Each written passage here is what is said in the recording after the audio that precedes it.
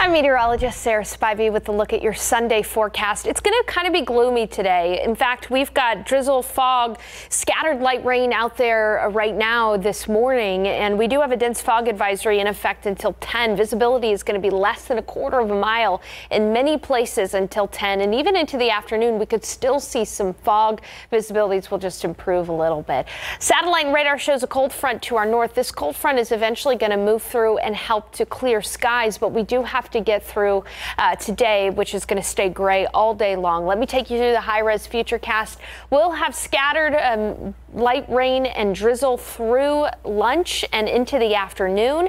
By the evening hours, we'll have more of a sprinkle or two in the area, but it's still going to stay pretty cloudy. That cold front is going to move through tomorrow morning, Monday morning, right at pre-dawn hours. Until then, we'll still be in the 60s for most of the day. Once that front moves through tomorrow morning, our temperatures will fall into the 50s with breezy conditions. Skies will clear, and tomorrow will be sunny and beautiful with a high temperature near 72. But we do have to get through today.